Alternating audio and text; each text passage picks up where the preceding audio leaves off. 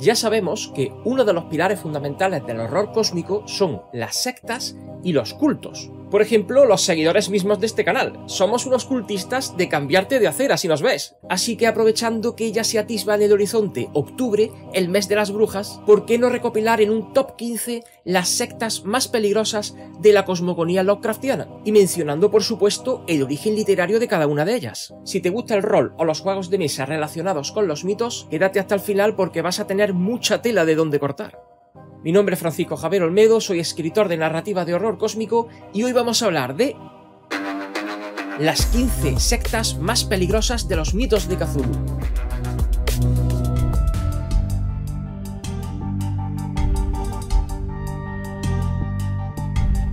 Creído interesante dividir las 15 sectas en tres grupos principales ordenados por nivel de peligrosidad. Así que comenzaremos con los más inofensivos, si es que un culto Lovecraftiano puede resultar en algún momento inofensivo, y finalizaremos con los más temibles. Pero esperad, aquí hacemos un pequeño alto. ¿Serías capaz de mencionar una secta que pudiera caer en el top 3 de peligrosidad? Si crees que lo sabes, pausa un momento el vídeo y déjalo en un comentario. Vamos a ver cuántos de vosotros acertáis alguna.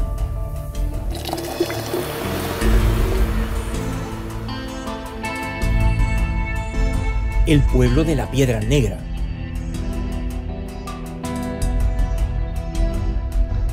La Piedra Negra es un enigmático obelisco situado cerca de Stregoicabar, en Hungría. Fabricado de una piedra translúcida y única, el monumento se descubre ornamentado con una suerte de grabados indescifrables muchos de los cuales han sido por desgracia erosionados por el tiempo. El origen del monolito aún resulta objeto de debate, con teorías que sugieren que podría ser un legado de los unos o incluso de una civilización aún más antigua. Durante siglos, la piedra negra fue el centro de profanos rituales realizados por el pueblo primitivo de las colinas circundantes. Sin embargo, en 1526, un ejército musulmán, al descubrir estas prácticas tan heréticas, arrasó con todo y terminó por purificar el lugar y a pesar de ello no se atrevieron en dañar en modo alguno el oscuro monolito. De hecho, aunque por desgracia ya no quedan vestigios de la existencia de ese pueblo, la gente local todavía evita la piedra negra, ya que aseguran que basta mirarla durante un mínimo tiempo para terminar sometido por una inexplicable locura.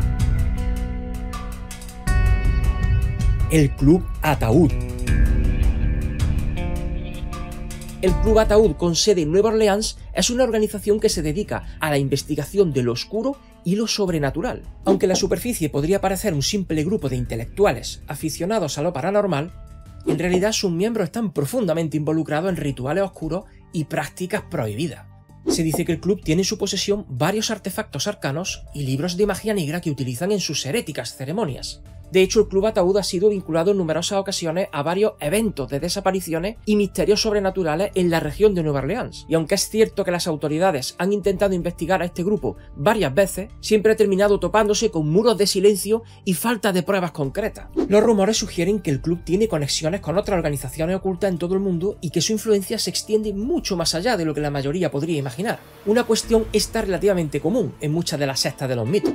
Por desgracia, el grupo se disolvió tras la misteriosa muerte de su fundador, Henricus Banning, del cual se decía que había descubierto un secreto que le costó la vida. Sin embargo, se rumorea que sus rituales y prácticas aún persisten en las regiones más turbias de la ciudad de Nueva Orleans.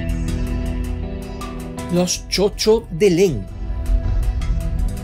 Los Chocho son seres semi-humanos que residen en la enigmática meseta de Len, un lugar que parece extenderse a través de múltiples realidades. Su ubicación exacta es un tanto polémica, con teorías que apuntan a lugares tan diversos como Asia Central, la Antártida, Birmania o incluso las Tierras del Sueño. Estos individuos, que pueden camuflarse entre humanos, habitaron la ciudad de Sarcomán y tuvieron conflictos con las arañas púrpuras de Len.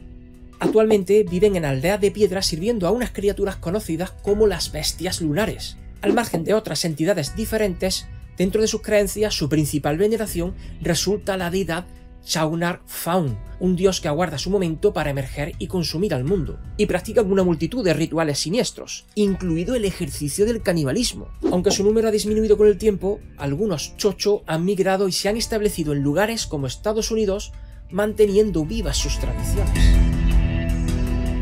El culto de chorazos.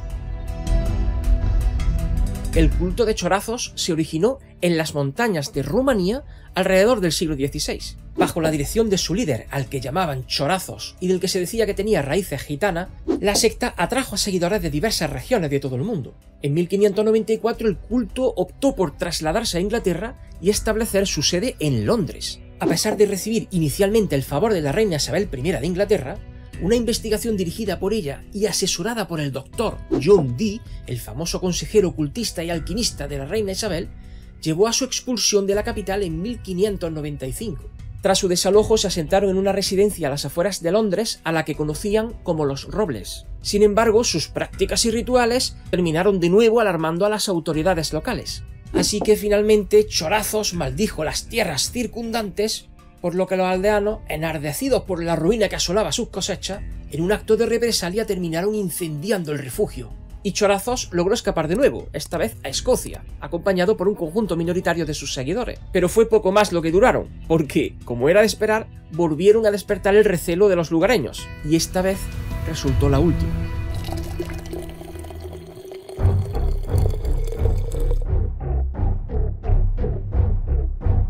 El culto de la calavera. Ubicado en los espesos bosques de Chesuncook, en Maine, el culto de la calavera es conocido por sus blasfemas ceremonias en la Noche de Difuntos, aunque no se limitan solo a esa fecha. Se rumorea que rinden culto en los bosques a Subniguraz, entre antiguas piedras exóticas de origen desconocido, y se ha descrito que poseen vastas cavernas subterráneas en cuyas cimas habitan atroces ejemplares de Shoggoths, sobre los que parecen tener algún tipo de control. Aunque la afiliación al culto es un asunto reservado, hay indicios de que Asenath White y su esposo Edward Derby podrían haber sido miembros en algún momento. Dos personajes especialmente peculiares. De hecho, a causa de esta pareja se ha señalado que podría existir una fuerte tensión entre este culto y una comunidad de brujas de la ciudad de Arkham. El culto de los gules parisinos, este detestable culto fue mencionado por primera vez por el Comte d'Erlet en el grimorio homónimo Cultes des Gaules. En él se desvela la existencia de una oscura sociedad de París que venera a estos pérfidos seres, los gules, tradicionalmente asociados con la profanación de tumbas y el canibalismo. Es gracias al mencionado grimorio que se conoce con detalle las prácticas y rituales del culto. Y esto es así porque el conde confiesa en su obra haber pertenecido a tan inigua comunidad, e incluso haber practicado todos los ritos necesarios para terminar siendo uno de ellos.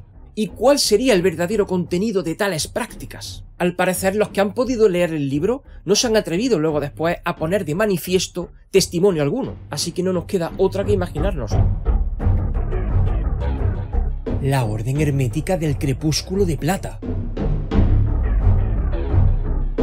también conocidos como los Amos del Crepúsculo de Plata o la Logia del Crepúsculo de Plata. Fundada en 1657, esta organización busca a toda costa despertar a Cthulhu y con ello traer la destrucción a la humanidad. Sus miembros son fanáticos sin remisión y se dice que tienen el poder de invocar fuerzas oscuras de origen potencialmente fatal.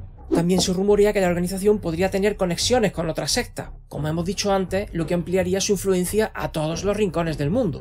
Estas organizaciones, ya sean cultos, sectas o sociedades, han venido operando en secreto durante siglos, moldeando el curso de la historia desde la sombra. Y aunque es imposible comprender completamente su objetivo y creencia, es esencial ser consciente del influjo de su existencia en el progreso de nuestra sociedad. Sería algo así como una suerte de masonería o Illuminati dentro del universo de los mitos de Cthulhu.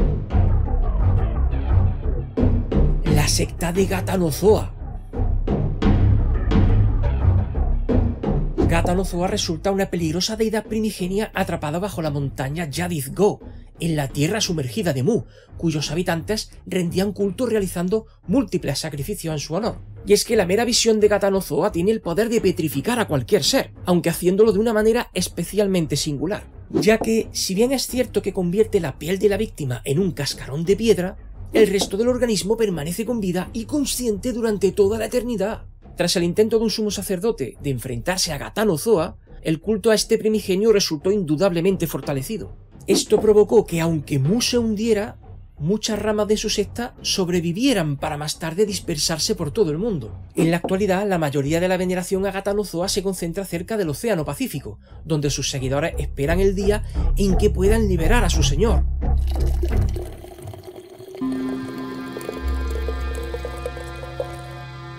Los hermanos del signo amarillo los hermanos del signo amarillo son una secta que venera a Astur en su manifestación como el rey de amarillo. Aunque existen informes contradictorios sobre el origen de esta comunidad, parece ser que lo más probable es que su inicio se diera en la ciudad subterránea de Canyan. La hermandad está liderada por seres humanos inmortales provenientes de la mencionada urbe, los cuales poseen una muy avanzada tecnología y habilidades telepáticas que incluyen la capacidad de desmaterializarse, leer mentes, hipnotizar a sus víctimas o incluso paralizarlas. Los miembros de esta sociedad subterránea se identificarían en la superficie mediante gestos acordados con la mano o portando anillos y pendientes con una piedra amarilla. Y como dato curioso, se reúnen ocasionalmente para destruir puestos avanzados de los Migo y también para rendir culto a Astur y Subniguraz. Hay teorías que sugieren que los hermanos del signo amarillo podrían ser el fundamento de algunas de las religiones más inusuales de nuestro planeta el culto al dios de la carne.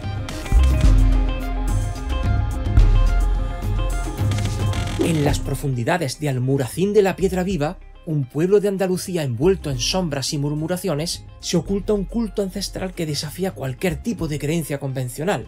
Los habitantes de este lugar, alejados de la mirada crítica del mundo exterior, han entregado sus almas y cuerpos a una entidad a la que alaban como el divino prodigio, se afirma que este Dios no se preocupa por el espíritu, sino por la carne. Mientras que la Iglesia puede condenar ciertos actos de tormento o privación de la vida como hechos criminales, esta deidad los eleva a la categoría de sagrado martirio. Donde la Iglesia busca arrepentimiento en el seno de la penitencia, el Dios de la carne muestra agradecimiento en la inmolación, ofreciendo gracias a sus practicantes en forma de dones tan monstruosos como milagrosos. Es por eso que los resignados habitantes de esta recóndita aldea practican rituales paganos y ejercen oscuros prodigios que se alejan de toda comprensión humana. Los seguidores de este culto llevan marcas distintivas. Algunos vendan sus ojos con tela sucia, llorando lágrimas negras, mientras que otros se persignan trazando un triángulo que va desde los hombros hasta el vientre. Devotos, que encuentran en la carne el medio definitivo para conectarse con la divinidad. Y en la cima de su fe el arcipreste mitrado, mensajero de apóstoles y baluarte del divino tormento, custodio de la Biblia negra de Timote. Y tal y como os dije al principio, aprovechando que el mes de las brujas, octubre, está ya a la vuelta de la esquina, quiero anunciaros que a partir de este mismo momento y hasta el mismo 31 de octubre, todas mis novelas gozan de jugosos descuentos. Así que qué mejor momento que este para iniciarse en el ciclo del dios de la carne, continuarlo si ya lo iniciaste, o explorar las dos obras satélite. Os dejo los enlaces de compra en el perfil de este mismo canal. El culto de la sabiduría de las estrellas. Originado en Providence, Rhode Island entre 1844 y 1877, este culto veneraba a Nyarlathotep y fue fundado por el profesor Enoch Bowen tras su regreso de Egipto. De hecho, su objeto más preciado resulta un artefacto de los mitos de sobra conocido por todos e igualmente temido. El trapezoedro resplandeciente, el cual les permitía invocar al morador de las tinieblas en la completa oscuridad. Sin embargo, en 1877 terminaron enfrentados con las autoridades debido a sospechosas desapariciones vinculadas a ellos, lo que llevó a su definitivo desmantelamiento. A pesar de esto, se cree que continuaron sus actividades en secreto, y que otros grupos han adoptado el nombre de culto de la sabiduría de las estrellas, aunque no queda del todo claro si realmente tienen algún tipo de conexión con la secta original. La Hermandad Negra. La Hermandad Negra es una organización terrorista internacional, con un propósito especialmente inquietante. Promover el surgimiento de todas las deidades primigenias que se puedan liberar o despertar a la vez. Sus miembros, que provienen de todas las razas y clases sociales, llevan a cabo asesinatos encubiertos contra agentes gubernamentales, eligiendo a sus víctimas de manera aleatoria y sin un patrón aparente para dificultar su desmantelación. Además, los que ejecutan estos homicidios suelen encontrar la muerte muy poco después, lo que ha dificultado enormemente la posibilidad de encontrar un sujeto al que poder interrogar. La hermandad tiene una creencia firme. Los primigenios se alzarán, a pesar del inútil intento del hombre por evitarlo. Así que es su misión preparar la tierra para su regreso.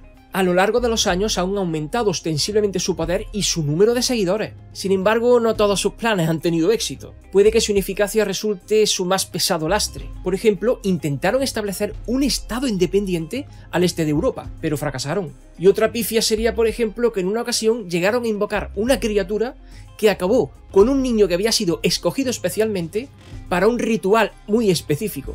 En tiempos recientes, conscientes del acercamiento del resurgir primordial, Fuentes fiables de los departamentos de inteligencia de diversos países afirman que la Hermandad podría haber iniciado operaciones a escala planetaria con el fin de destruir gran parte de la civilización humana para reducir así la futura resistencia. Y procedemos ahora a entrar en el top 3. ¿Habráis acertado alguna de las que comentasteis al principio del vídeo? La secta de la lengua sangrienta. Esta secta, con raíces en Kenia, adora un avatar de Nyarlathotep que toma la forma de un monstruo con un largo tentáculo carmesí en lugar de su cara. Al parecer, su centro de poder se encuentra en un pico escarpado al que llaman la Montaña del Viento Negro. La secta está compuesta por nativos de la región y se dice que es tan poderosa que muy pocos se atreven a hablar de sus rituales. Además, como muchas otras hermandades, este culto tiene algunas ramas en otras partes del mundo, lo que sugiere una red de influencia más amplia de lo imaginado que como hemos visto, se vuelve lo típico. Por otro lado, parece ser que esta secta también tiene conexiones con otros cultos oscuros como los que hemos visto antes, la Hermandad Negra y la Iglesia de la Sabiduría de las Estrellas. Su poder y alcance parecen ser tales que se la considera una de las organizaciones más temidas de todo el planeta. Y en segundo lugar tendríamos a uno de los cultos más reconocidos de todos los mitos de Cthulhu. Sin embargo, debido a su importancia, nos lo vamos a reservar para el final, puesto que aunque no sería el más poderoso de todo, cuando os revele el primero entenderéis por qué, resulta tan relevante que tendremos la obligación de detenernos en él. Así que sí, mis queridos hermanos, hemos llegado al top 1, el epítome de la peligrosidad sectaria, el horror hecho hermandad de lo innominable el culto de Azazoth de los insectos de Shagai. Estos seres también conocidos como Shans están hechos de una materia distinta a las demás formas de vida del universo. Quizá por su naturaleza del todo diferente, optaron por someterse a la más divergente de todas las deidades, Azazoth. Es más, no olvidemos que los insectos de Shagai son la única raza que ha conocido también al único avatar del caos nuclear. Shada Gla, al cual levantan estatuas en cada uno de sus templos, de las que se dice poseen un poder del todo inimaginable. Es sabido en igual forma que los rituales en honor a Azazoth practicados por los insectos de Shagai son los más abominables de todos los mitos de Cthulhu, y tanto es así que ni siquiera se puede intuir cuál sería su verdadera naturaleza. Lo único que sí se ha revelado es que utilizan una suerte de control mental para estimular sentimientos de horror en sus huéspedes a través de visiones artificiales de aproximaciones a la verdadera apariencia de Azazoth. Entendéis ahora por qué resultaría la más temible, ¿verdad? ¿Y es que acaso hay algo más peligroso que someterse voluntariamente al arbitrio del centro del cosmos?